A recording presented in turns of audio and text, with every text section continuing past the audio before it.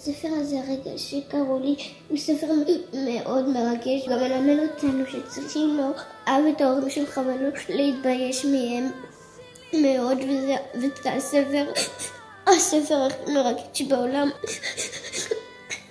אז שתדעו שכולם הספר הזה זה המתנה הכי טובה שקיבלתי בעולם.